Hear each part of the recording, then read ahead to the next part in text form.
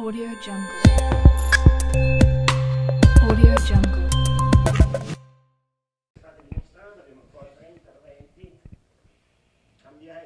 e che poi van- vanno poi nella direzione finale, cioè abbiamo tre informatici, però a me hanno detto che in realtà c'è qualcuno qui in sala che dispone di una tecnologia che dall'analisi di una foto svelerà uno dei grandi misteri dell'umanità, cioè l'età di Giulia Gioda.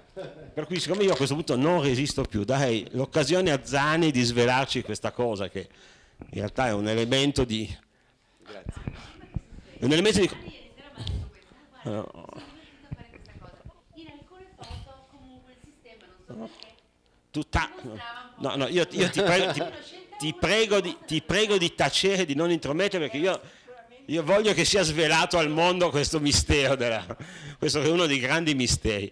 Dopodiché, dopo che Zani ci avrà fatto vedere questa tecnologia che svelerà uno dei grandi segreti, poi lascerei la parola a... Da- Poi chiediamo il liberatorio a Giulia Gioda la mettiamo su Assolutamente. perché secondo il GDPR non ci è stato spiegato. Io ho già raccolto i soldi degli sponsor per questa cosa, non ti preoccupare. solo perché guido io le slide così cerco di recuperare tempo andando veloce su alcune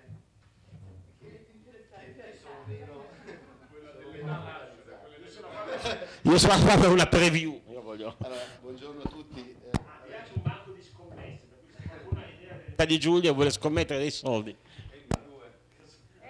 se volete però allora vabbè do- dopo arriviamo a quel punto lì però prima vi faccio vedere un paio di altre cose eh, Verlai non, non sto a, a presentarla siamo un gruppo completamente italiano fondato a Torino nel 96 siamo presenti un po' in tutto il mondo abbiamo circa 6.300 persone ci occupiamo di digitale in ogni sua forma eh, in ambiti completamente diversi che sono quelli riassunti nella parte in alto nella, in quello che dovrebbe essere l'azzurro e un blu eh, mi serve solo per dire questa, questa slide che abbiamo delle declinazioni in ambito di competenze legate, mh, siamo un'azienda che crediamo molto nell'innovazione, nei processi di innovazione e delle, delle tecnologie. Per fare questo, per, per fare questo eh, non ripeto, su questa parte di slide vado veramente molto veloce perché soprattutto Nicola nel suo intervento ha spiegato molto molto bene questi concetti e vorrei cercare di trasferirvi con due esempi molto reali e molto concreti, vorrei spostare l'attenzione su due concetti legati all'aspetto dell'utilizzo delle tecnologie in sanità, nella salute e negli aspetti sociali. Uno, che è un tema che è venuto molto fuori, che è una preoccupazione, una preoccupazione, diciamo che è una cosa che spesso ci, ci sentiamo, nella quale ci sentiamo contrapporre, cioè l'umanizzazione della tecnologia. È, è venuto anche fuori eh, molto forte, senza nessun tipo di preparazione in questo, in questo evento, e dall'altra parte vorrei provare a rispondere con un, un grado di livello di prontezza della tecnologia, perché sono assolutamente d'accordo su questi, su questi due elementi. Poi facciamo qualche riflessione. A tal proposito vi lancio, se riesco, che se- no, non è qui, non è qui la... No, questa è un'analisi predittiva. Eh, sì. Cioè, come ci cambierà nel tempo. Questo è un video, è un caso, è una, una situazione reale. Prima ve lo... Se, se parte, manca l'audio? Perfetto.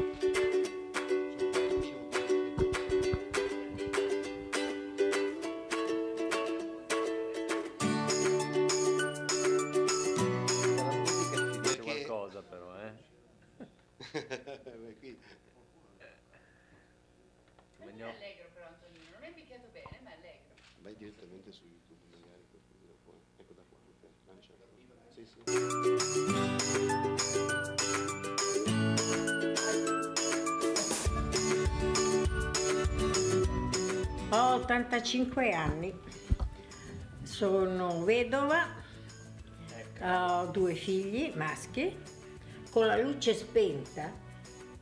Se mi muovo, dopo si vede un periodo di tempo che stavo immobile, la luce si accende.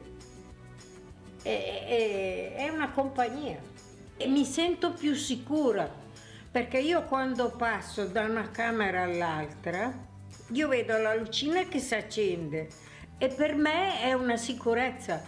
È venuta questa ragazza, si è guardata in giro, mi ha messo nelle camere, nel punto dove io passo, nelle camere in cui io vivo di più E, e poi c'è stata una volta che si sono accorti, per esempio, che c'era un certo movimento alla sera e mi hanno chiesto spiegazioni. Era mio figlio che tornava a casa. Perché con- non è come quell'altro sensore che c'è, che deve portarlo. Qui non deve avere, non ha niente addosso, è libera per lei, lei fa quello che vuole, eh, è solo che è sorvegliata. Anneli Antinello, Antonino per meglio dire. Ne compie 80 a giugno, il 3 di giugno e ovviamente mi sento più avvantaggiato. È come avere una malattia come quelle che ho e che praticamente il medico mi cura e dice fai, prendi questo o prendi quello. Ecco, per far funzionare questi sensori non ho bisogno di nessuna protezione, nessuna cosa. Io sono Valsecchi Emilia, anni 90. Io sono la figlia Strafico Pierangela, anni 64. Mi hanno spiegato che se io mi muovo, se vado di fuori si accendono, se entro in bagno si accendono, vado in stanza si, si accende, si vede, si vede proprio il rosso, eccola. I sensori cioè capiscono che la persona non si muove più per casa e, e mi chiamano, ecco. Chiamato, mia mamma è rimasta sveglia eh, per un po' di tempo gironzolando qua per casa di notte e il sensore ha rilevato questo, mi hanno chiamato appunto per sapere se era successo qualcosa a lei. E poi ho chiesto, ma invece lei ha detto che si è alzata e non riusciva più a dormire e ha girato un po' per l'appartamento. Ecco.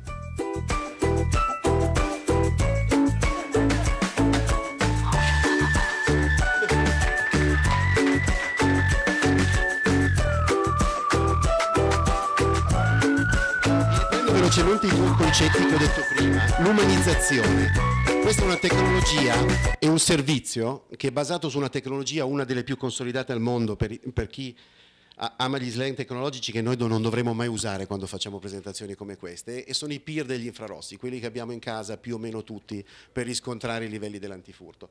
Con questa soluzione noi abbiamo implementato un servizio, non è solo una soluzione, non ci interessa aprire o chiudere la casa domotica, aprire o chiudere la tapparella a questo fine, ma determiniamo le abitudini comportamentali dei soggetti, dei soggetti fragili ovviamente, e cerchiamo rispetto a queste di determinare eventuali variazioni rispetto ai comportamenti.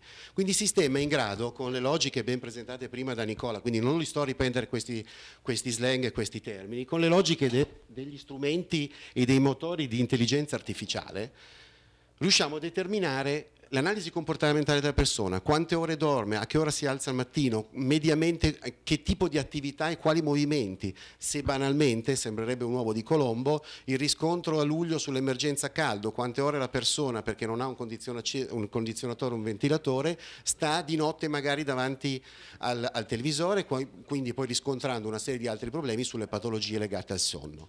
Il sistema, l'altro, tema, come avete visto, il, il tema dell'umanizzazione, scusatemi, ancora un focus, come avete visto, una piccola precisazione, il video non è stato fatto da noi e per di più, credetemi, in assoluta sincerità ve lo dico, le persone hanno parlato a ruota libera. Ovviamente c'è stato un montaggio fatto da un ragazzo dell'Università di Lecco in questo caso, ma assolutamente non è stato né gestito da noi, è stata una presentazione di una cooperativa che nell'ambito dei servizi sociali di quell'area sociale di quei comuni ha costruito questo servizio insieme a noi, ha voluto iniziare a lavorare con noi più di un anno fa su questo tipo di servizio e insieme l'esperienza sociale, l'esperienza dei servizi alla persona della cooperativa, l'esperienza dei medici di medicina generale, alcuni di quella zona specifica, l'esperienza in più di sociologi e di psicologi che hanno studiato il comportamento delle persone ci hanno permesso di costruire questa soluzione. E qui arriviamo al secondo livello, la prontezza che dicevo prima. Oggi quando noi tecnologi parliamo, trasferiamo, usiamo per nostra cultura non nascondo anche per nostra passione, se ci fosse qua Francesco guarderei principalmente lui, trasferiamo concetti e slang un po' di settore, dire, un po' difficili ai, tu, ai più immaginare che cosa vuol dire un log analysis piuttosto un deep learning, piuttosto che intelligenza artificiale. Tutti noi immaginiamo queste cose, poi magari ci poniamo dei dubbi se quanto sono reali rispetto alla vita immediata, perché sembrano sempre concetti in qualche caso molto futuristici, di cose che vanno molto in là, ma in realtà, di nuovo tornando, e mi è piaciuta molto la parafrasi, no? Dove eravamo ad Asiago 2016, dove siamo adesso Asiago 2017, questo tipo di soluzione l'anno scorso forse vi ricordate, chi, c'era, non credo, non ho la presunzione che ve lo ricordiate, avevo annunciato questo tipo di soluzione. Dopo sul giochino che non ho fatto, anticipo questa cosa perché non, non ho fatto proprio esattamente con, con, lei, non ce l'ho qua, ma se vuoi la, la, la costruiamo la faccio vedere in tempo reale, vi annuncio una cosa su cui lavoreremo e magari presentiamo la prossima per, prossimo, per, le prossime edizioni. Questo è semplicemente per dimostrarvi quanto quanto l'utilizzo di questi meccanismi, l'utilizzo di queste tecnologie, questo è uno dei mille esempi che si possono fare, sono estremamente concreti e possono veramente rivoluzionare l'approccio sia di erogazione dei servizi che l'approccio economico dell'erogazione dei servizi. Qui stiamo parlando di soluzioni che hanno costi di qualche decina di euro inferiore ai 50 per essere chiaro al mese voi sapete che un servizio di badantaggio analogo per assistere una persona con quel livello di fragilità, semplicemente per assistere alla nostra, costa quei valori per circa 2-3 ore notturne, per circa 2-3 ore notturne, a seconda di quale parte dell'Italia guardiamo. Quindi dal punto di vista macroeconomico e dal punto di vista della prontezza le soluzioni sono assolutamente adatte per questo target. La slide successiva è un esercizio che vi faccio vedere è un esercizio che vi faccio vedere anticipando un, un altro progetto nel quale noi stiamo investendo, ovviamente per la dimensione di un'azienda come la nostra, una serie di risorse economiche e di tempo molto importanti, cioè l'utilizzo degli strumenti, anche di nuovo qua, di intelligenza artificiale per determinare in processi di gestione del video, di telemedicina, di chiamata amica di un servizio sociale a casa di una persona, di determinare anche qui in modo automatico dai dati che riceviamo una serie di elementi con degli automatismi. Qua mai, per questa è la mia personale interpretazione, il sistema di intelligenza artificiale, il risultato dei sistemi di intelligenza artificiale per meglio dire, sostituirà una decisione né medica né sanitaria né sociale, ma devono essere, probabilmente possono essere, dei sistemi di supporto alle decisioni, perché se parafrasiamo il sistema ed è evidente che tutti noi sappiamo benissimo, ce lo siamo detti, è stato detto molto, molto bene in questi giorni, si dice in tutti i convegni, tutti noi avremo più bisogno di domanda perché saremo sempre tutti più vecchi, è impensabile che il sistema sia mantenuto con il livello di attività umane così come è fatto d'oggi. La tecnologia bisognerà obbligatoriamente introdurla, bisogna obbligatoriamente introdurla. Questo è un esercizio, a sinistra c'è un algoritmo che determina in automatico alcune cose, le, le semplici che un uomo che sta mangiando, l'età, quindi scusate qua non si vede, 38 mm, anni, io ieri sera ho scherzato con Giulia, poi non avevo capito se l'aveva presa bene o no, volevo oggi farvi vedere la sua fotografia, quindi il sistema, se, se volete sul PC ve lo posso far vedere e quindi ho inserito questa, questa immagine. La cosa importante la co a cui già arriviamo, il sistema è in grado di capire se questa persona è felice o no, dall'espressione. Il sistema è già in grado su particolari immagini, ovviamente ho usato questa fotografia, una fotografia di una persona perché è più esemplificativa, il sistema è già in grado di capire un livello di macroanalisi su alcune patologie eh, eh, epidermiche il sistema è già in grado di capire, di cercare delle correlazioni, sta, sta, studiando delle correlazioni se durante un processo di telemedicina, televisita o di chiamata amica c'è una corrispondenza, una, questa ricerca e sviluppo ammetto vera, quindi per questo vi dico, ve ne parlo adesso ma vediamo il prossimo anno qual è il risultato, è ricerca e sviluppo vera, se c'è una correlazione tra lo stato di percepito positivo o non positivo della persona durante il momento della cura, durante il momento dell'esame, con il ritorno temporale rispetto alla cura stessa. Quindi se cerchiamo, cerchiamo, di capire una cosa molto semplice, se una persona è felice e soddisfatta, guarisce prima di un'altra parità di, di patologia, di cura e di situazione? Questo perché? Perché ovviamente sempre di più immaginiamo che ci sia necessità di strumenti come questi per supportare i momenti di contatto che saranno probabilmente in qualche caso anche sempre più da remoti per quello che ci siamo detti, tra chi espleta la cura e chi ha bisogno di quella cura. Io mi sarei fermato così ho cercato di recuperare tempo. Io vi chiedo ancora qualche minuto di attenzione anche per la disponibilità che Andrea Nicolini e Roberto Soi hanno avuto nel attendere a, a intervenire alla fine di questa giornata e quando loro avranno terminato non, non vi farò perdere ulteriormente del tempo rispetto poi alla, al fatto di poterci godere tutti quanti il weekend e probabilmente una giornata di sole. Eh, Andrea Nicolini da anni lotta tra la burocrazia centrale e le burocrazie delle regioni al servizio delle regioni perché ci sia un'accelerazione nelle opportunità che le tecnologie rendono disponibili. Con lui abbiamo alternato momenti di, di grande euforia e di grande frustrazione perché non posso nascondere che a volte percepire che determinate tecnologie possono veramente impattare anche sulla qualità della vita delle persone e sulla valorizzazione delle professioni, tra cui quella medica, e vedere che queste cose non riescono a accadere nei tempi che potrebbero essere utili, genera frustrazione. Altre volte abbiamo condiviso invece momenti di, di contentezza perché quello che sembrava impossibile da raggiungere è stato raggiunto. Poi i nostri percorsi sono separati perché io adesso lavoro in un comune mentre lui continua a lavorare da cerniera tra, tra i ministeri interessati e le regioni per fare da strumento di agevolazione. Roberto Soi è su un altro, un altro fronte, è quello delle in-house, società nate quando l'informatica era veramente qualcosa di nuovo ed esoterico e che adesso devono necessariamente cambiare pelle per adeguarsi a tempi diversi, tempi in cui il mercato dà maggiori garanzie rispetto a un tema, quello dell'IT, che quando queste sono state costituite, per cui a cavallo degli anni 70-80, richiedeva probabilmente che lo Stato, che e così è per Sogei a livello nazionale, che le regioni e alcuni comuni, come per esempio Venezia, avessero degli strumenti attuativi eh, su cui esercitare anche un controllo, perché il controllo soprattutto del dato in quel momento veniva visto con particolare attenzione, per fortuna, infatti l'Italia è un paese dove sono accaduti pochi incidenti rispetto, rispetto ad altri contesti. Vi lascio la parola, eh, grazie per aver atteso e grazie a tutti per l'attenzione che avete avuto questa mattina.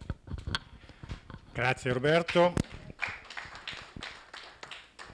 Grazie per l'invito agli organizzatori. La mia prima partecipazione a, ad Asiago, alla, alla, Summer, alla Summer School, eh, quindi io non posso fare confronti 2016-2017 e anzi mi scuso perché sono arrivato in realtà ieri sera tardi, ho perso la cena e parlando di cena adesso che siamo alle 1.20 è un dramma parlare a quell'ora, a quest'ora considerando l'interesse per quello che sarà il, il proseguio della giornata. Dicevo, sono stato alla cena però l'ho pezzata con un ottimo toast del, del bar del, del, dell'albergo che era veramente ottimo. A quest'ora per provare a rendere interessante la cosa io proverei a fare una domanda.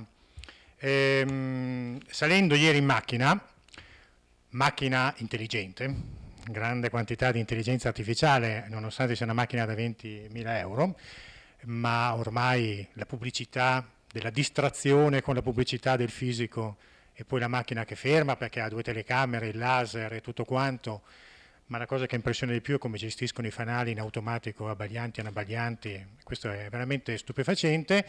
Non è vera intelligenza artificiale, ci sarebbe da discutere, ma io faccio un appello invece all'intelligenza umana, che già non sappiamo cosa sia, però insomma, mh, dovremmo cavalcare quella perché come è stato detto da qualcuno oggi prima, nei tanti spunti arrivati, se non governiamo la tecnologia con una grande dose di intelligenza umana non riusciamo a ottenere risultati e non sfruttiamo il potenziale che abbiamo.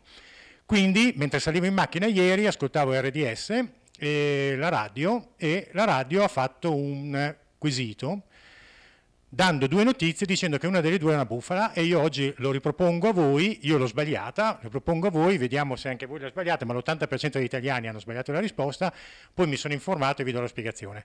Allora, le due notizie che loro hanno citato, una delle due è bufala, ripeto, le due notizie sono negli Stati Uniti c'è un teatro che ha un sensore del del livello degli applausi degli spettatori e se il, il comico che tiene lo spettacolo non fa raggiungere un certo livello di eh, successo con gli applausi, non viene pagato alla fine della serata. Questa è la notizia 1. La notizia 2 è che un teatro invece a Barcellona ha, eh, con degli tablet ha eh, un sistema di eh, face detection, riesce a vedere quanti sorrisi fanno gli spettatori e gli spettatori non pagano il biglietto ma pagano un quantum a sorriso che fanno durante risata che fanno durante lo spettacolo comico.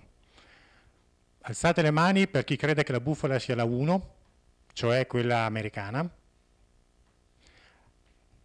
Okay. Alzate le mani per chi crede che la bufala sia la 2, cioè la face detection. Okay. La maggioranza anche qua ha sbagliato come ieri, come ieri per radio.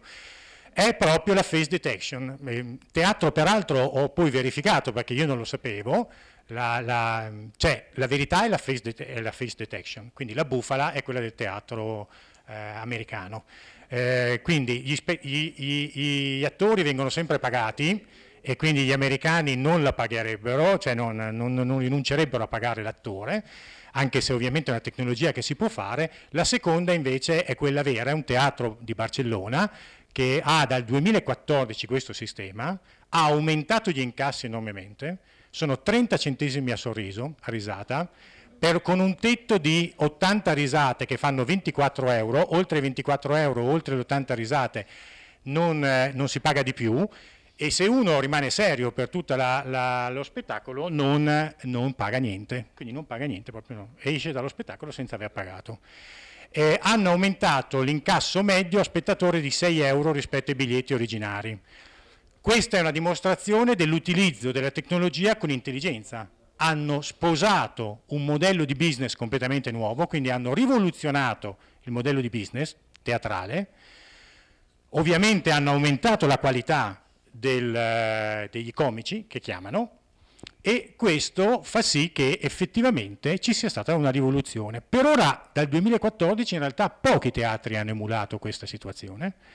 Ci vuole anche un certo investimento tecnologico perché tutti gli schienali delle sedie vengono dotati di, ehm, di, di, di tablet, tablet che riconosce e che conteggia, lo spettatore con lo smartphone paga prima ancora di uscire, quindi anche, può contestare la tabella mentre viene fatta, insomma comunque.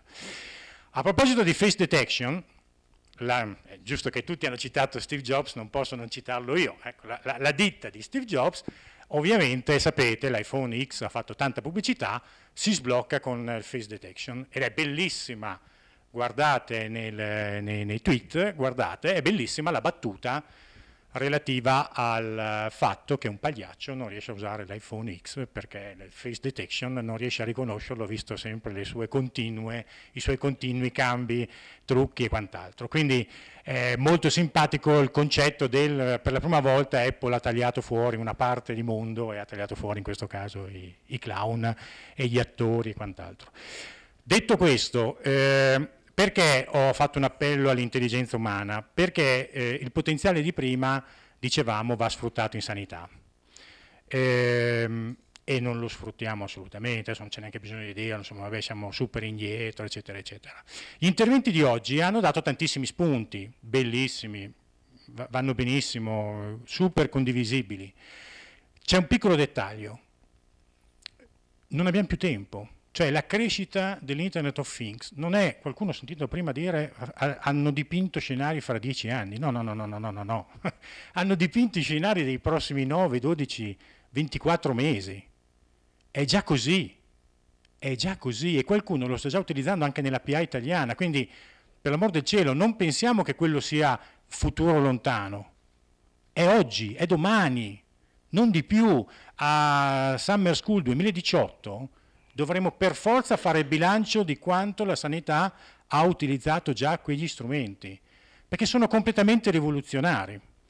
Allora, l'appello all'intelligenza umana va in due direzioni. Il primo, nell'ambito di chi fa innovazione, il tema di oggi, il tema di tutti gli altri giorni è sostenibilità, governance e innovazione. Allora, l'appello è, si fa innovazione solo violando le leggi, lo sappiamo, mi spiace che Belisario se ne sia andato, è utopia, era così 30 anni fa, è ancora così oggi, mi dispiace che Belisario se ne sia andato, è utopia pensare che la norma porti all'innovazione. La norma, qualcuno prima l'ha detto, segue l'innovazione e la consolida eventualmente, la fa diventare progresso comune, ma se uno nella PA vuole innovare deve infrangere la legge, questo è palese, non c'è alternativa. eh, ripeto, è così da tanti anni e così lo sarà. Eh, col GDPR poi la dovrà infrangere brutalmente perché se uno rispetta appieno il nuovo regolamento sulla privacy non fa, non fa mezza innovazione neanche se si mette a piangere in turco la mano. Invece, ehm, quindi dicevo, l'intelligenza perché non basta la legge, non basta la tecnologia, o meglio, la tecnologia abilita, ci sono partner come, come Reply prima, ma ce ne sono infiniti nel mercato, che ci porteranno soluzioni stratosferiche nei prossimi mesi. Già ci sono e ce ne saranno sempre di più soluzioni che noi consideriamo intelligenti, in realtà l'accezione vera di intelligenza oggi è sistema esperto molto voluto perché il potere computazionale oggi disponibile ha raggiunto livelli che erano inimmaginabili prima e consente di dare risposte che sono praticamente risposte intelligenti. Però rispetto all'intelligenza vera, lo dice uno che, ahimè, io sarei laureato, poi non riesco a sfruttarlo appieno, però sarei laureato in robotica, cibernetica e bioelettronica, quindi come indirizzo specializzato. Quindi Conosco bene la materia da più di 30 anni, però in realtà non, non, gli stessi test che utilizziamo oggi per valutare l'intelligenza artificiale sono ancora appunto quelli di Turing, quando la, la definizione presupponeva che non ci fosse capacità computazionale. Oggi c'è una capacità computazionale talmente elevata che quei test oggi vengono superati da alcune soluzioni, anche se in realtà non sono intelligenti nell'accezione che noi intendiamo.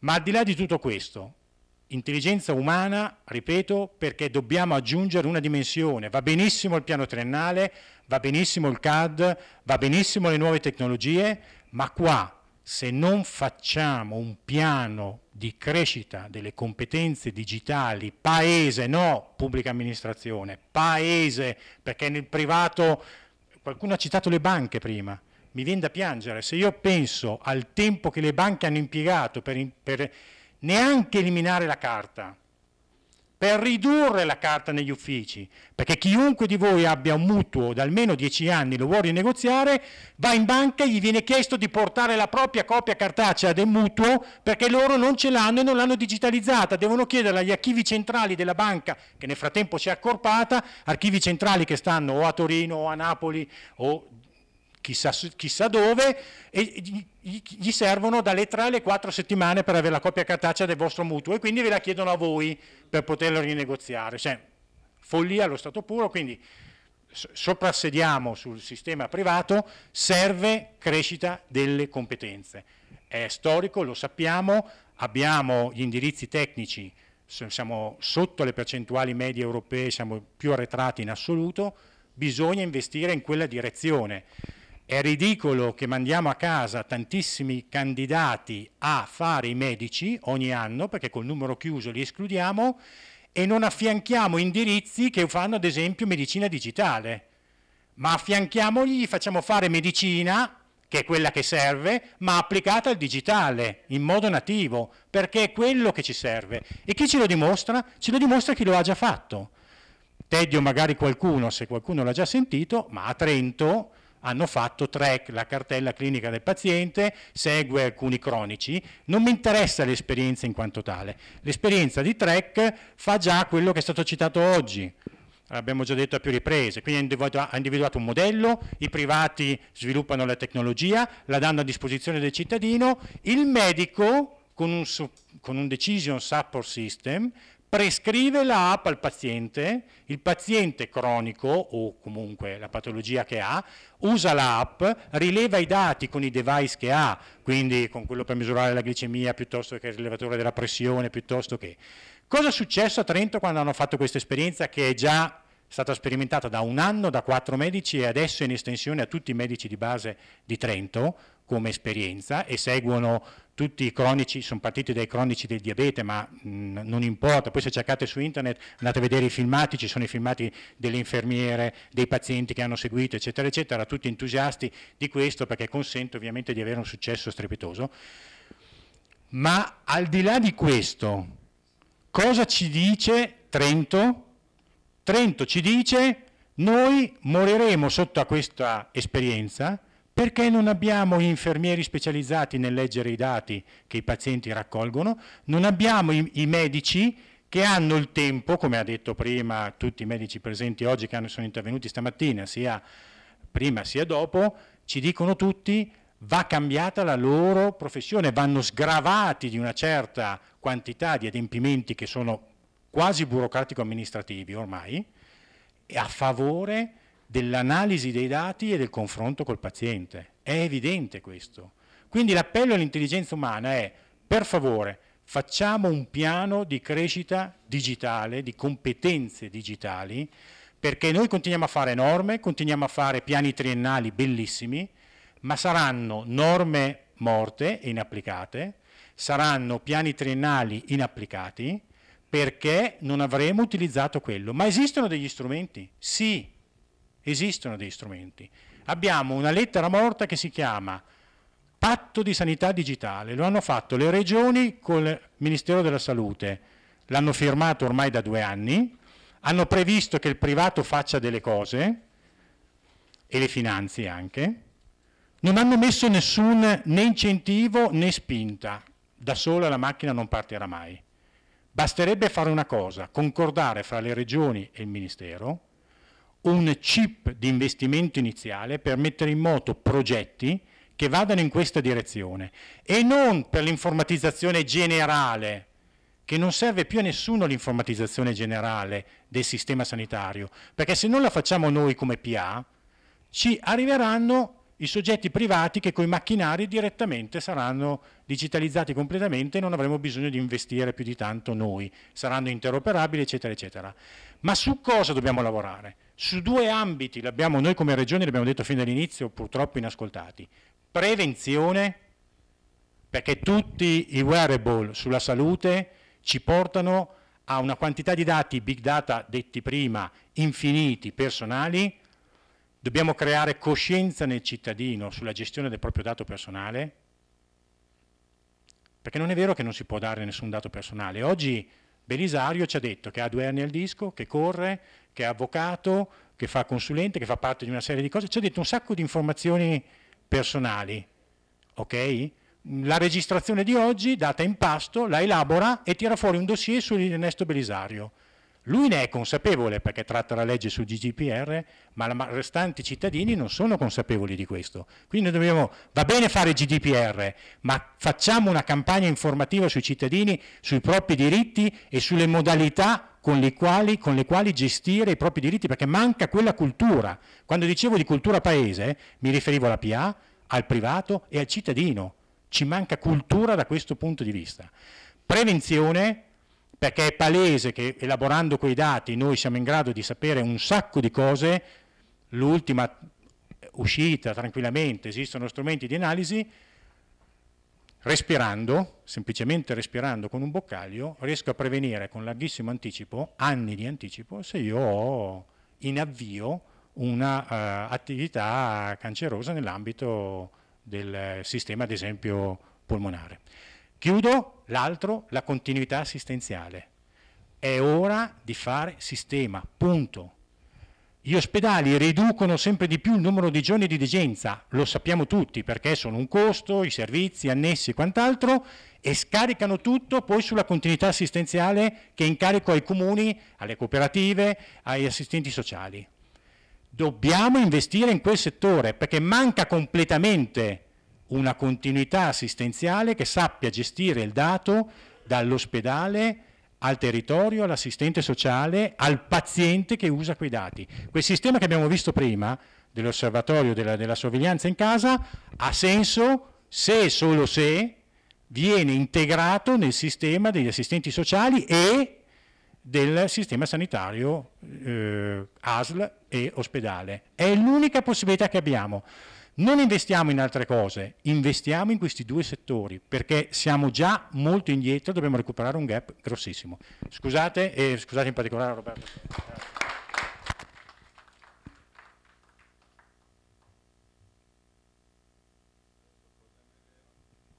Adesso sono 50. E siccome sono rimasto ultimo, ed ero ultimo anche l'altra sera, e non le ho potute presentare, le presenterò tutte. No, eh, obiettivamente, beh, certo, risparmi il pranzo tu, credo che ci suicidiamo tutti. No, allora sicuramente chiudere per ultimo è difficile, ehm, intanto per il tempo con cui siete stati attenti a tutte le presentazioni tutti questi giorni. Quindi vorrei dare alcune suggestioni, c'erano nel 2016, ci sono nel 2017, spero di esserci nel 2018 e, e quindi provo a tirare un fil rouge, però la cosa più importante è che io porto a casa dell'esperienza, come è successo l'anno scorso, è successo quest'anno, e intanto i molti colloqui eh, individuali che io ho avuto con eh, soggetti che mi hanno trasferito eh, delle loro conoscenze che per noi informatici, che stanno dall'altra parte, quelli che costruiscono i software, quelli che devono mettere in condizione di elaborare i dati, come elaborare i dati, comunque è la permeazione dell'esigenza. Cosa mi servirebbe? Quanto mi piacerebbe?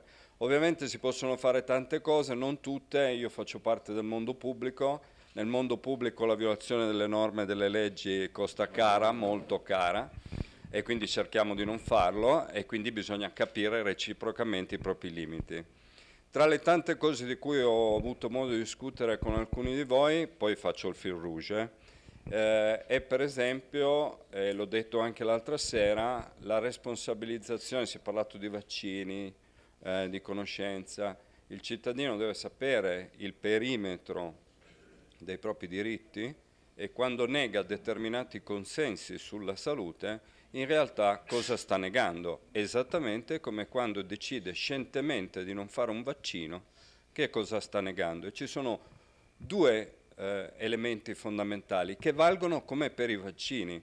Una cosa per se stessa, non lo faccio io, corro un rischio, e una cosa per tutti gli altri. Se non metto a disposizione il mio dato, in realtà non do beneficio a tutti gli altri. Perché dico questo? Perché quando esaminiamo tecnologie di elaborazione sul dato, ci sono degli effetti che derivano dal fatto che se ne esamino molti determino una statistica attendibile e quindi vuol dire che in molti, a soggetti credibili, evidentemente trustati, uno dei trust tipici, come direbbero gli anglosassoni, il termine trust è fiduciario, è la pubblica amministrazione fuori di dubbio, ma anche i medici di medicina generale, cioè tutti quelli con cui si entra in relazione. E se io con loro, perché ho un trust, do fiducia e metto a disposizione il mio dato, crea una base statistica che poi torna sul singolo, perché se io riesco a profilare meglio, anticipo probabilmente dei fenomeni.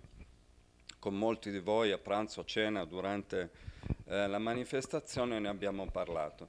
E su questo, per esempio, noi stiamo dialogando eh, con il garante della privacy perché ehm, una cosa importante è il fine della ricerca quando io parlo di cittadino che dà il consenso al caricamento del dato sul fascicolo e poi a chi può entrare dentro gli elementi di fascicolo, tipicamente penso al medico, penso alla struttura sanitaria. In realtà ci sono almeno due altri mondi che potrebbero dare risposte eh, sia alla collettività che al singolo indirettamente. Allora, il primo è il mondo della ricerca scientifica. Qualcuno l'ha detto ieri che aveva difficoltà il professore, non mi ricordo quando parlava delle analisi che faceva col Mise.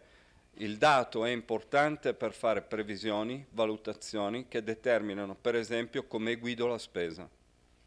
Che cosa mi aspetto nella spesa? Tutti hanno parlato di sostenibilità, i soldi decrescono, certo, sì, vero se noi fossimo un'azienda normale, non voglio dire che la sanità, mi stai richiamando all'ordine, ah. Non voglio dire che la sanità deve ragionare come le imprese, però certamente le imprese fanno marketing, il marketing legge il mercato, il mercato è fatto di bisogni, la sanità è un bisogno primario della cittadinanza, vorrei capire qual è il trend. I trend sono anche provare a capire come io potrei incorrere in una patologia cronica se i miei comportamenti non sono stati ideali. Bene, attraverso la raccolta dei dati, la stabilizzazione di questi dati in maniera omogenea e uniforme, leggendo anche lo storico che molte regioni hanno nei fascicoli sanitari, sono in grado di fare prevenzione mirata su fasce di popolazione. Questo vuol dire che so cosa mi aspetto, so dove dovrò investire in tecnologie, ma anche in strutture.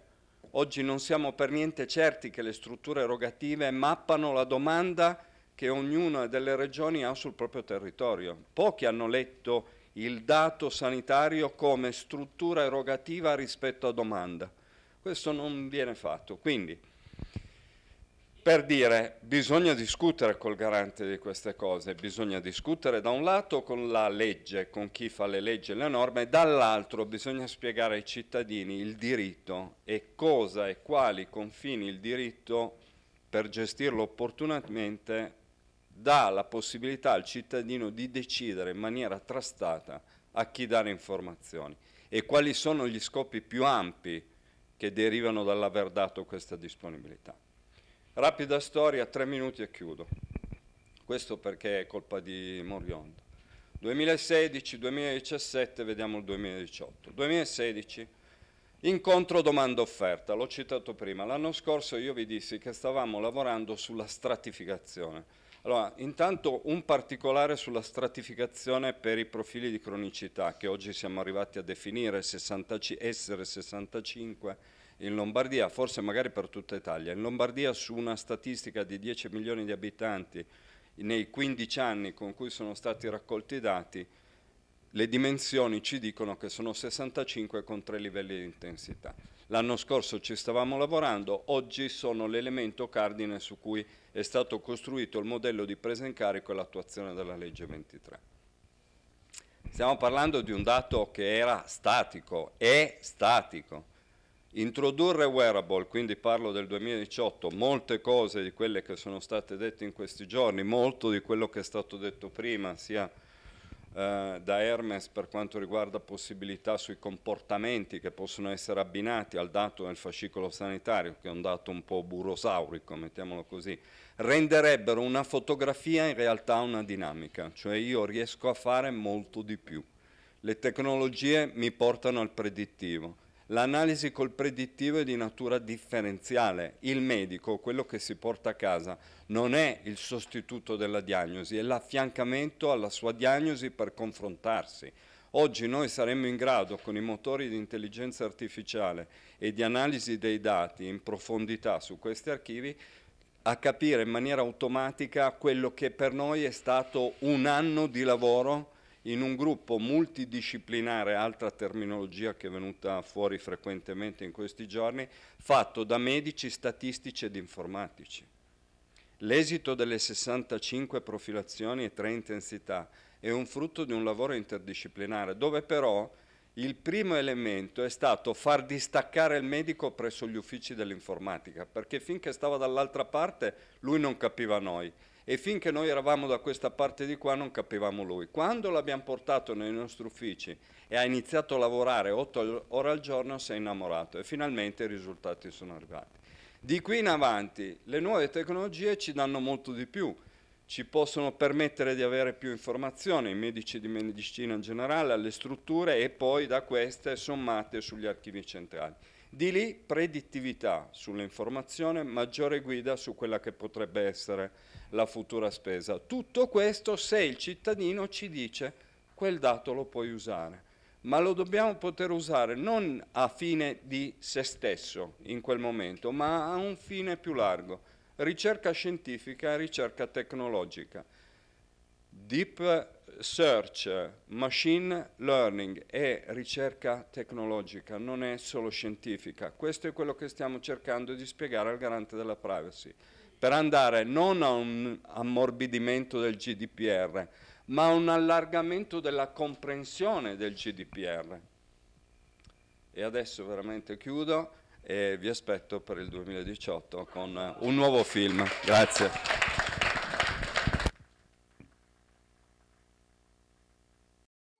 Audio Jungle.